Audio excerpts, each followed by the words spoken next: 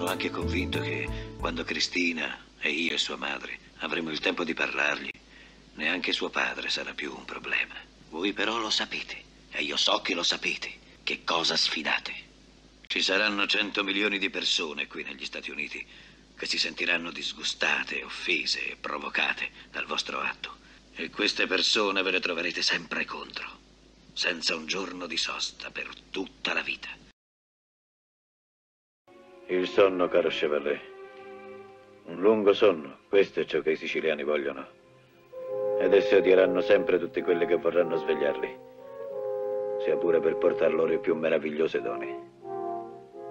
E detto già noi, io dubito sinceramente che il nuovo regno abbia molti regali per noi nel suo bagaglio. Non c'è male, direi. Più grosse quelle fette, che diavolo. Diamo una festa, no? Ma pa, le sto tagliando come al solito. Presto potrai tagliare fette di pane grandi come porte se vorrai. Avrai dei vestiti nuovi e non dovrai più lavorare. Stiamo per diventare ricchi, pa? Forse. Un momento, ma come farò a riconoscerla, pa? No, non puoi certo sbagliarti, Patrick. Lei è giovane, è una signora e poi, poi una bella donna. E, ecco, eh, per il viaggio metterò il vestito nero che, che portavo il giorno, il giorno che ci siamo conosciuti. Io sono Lescenò, anch'io una volta facevo il boxer, ho fatto anche il prete, sono stato partigiano, pessimo poeta, discreto amatore e buona forchetta. Lei cos'è? Un maschio americano di razza bianca, vaccinato, con una leggera sinusite. A lei per che cosa piacerebbe combattere? No, non saprei. Per un posto nel metro, per esempio. Che cosa ne dice di un mondo nuovo, senza più smidollati, senza più potenziali suicidi che non hanno il fegato di tagliarsi la gola? Che l'idea è triste. Come ci si divertirebbe? Come scrittore lei ha il dovere di rivelare la vera natura del nostro nemico. Si unisca a noi nella nostra crociata. Le orde dei negri e dei gialli avanzano. Noi dobbiamo distruggerle. Il lotto di 200 milioni, tu pigli tu. Quello di 250 è per la stella. Aveva una figlia che si deve meritare e ci va a fare una bella dote.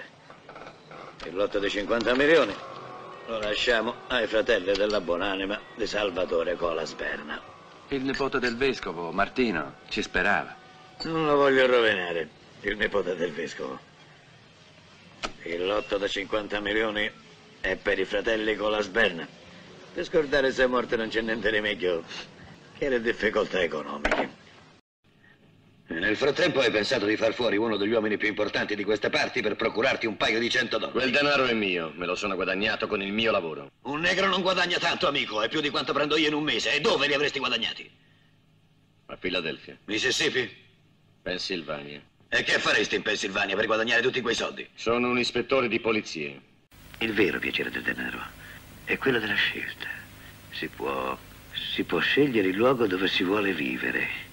Io ho scelto il luogo e meglio ancora l'epoca che amo.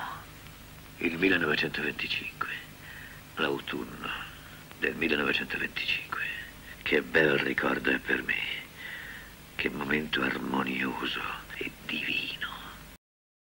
Veramente stiamo aspettando il ritorno del carro dalla festa dell'unità. Ah.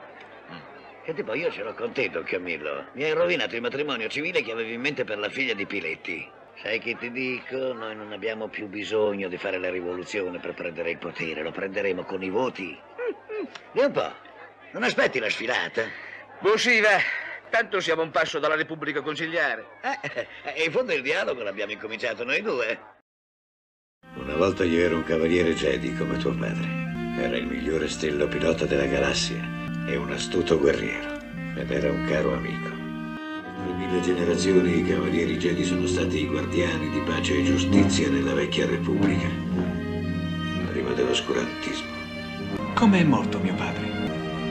Un giovane Jedi di nome Darth Fener, che era stato mio allievo finché non si mosse al mare, aiutò l'impero a dare la caccia ai cavalieri Jedi e a distruggerli. Egli tradì e assassinò tuo padre.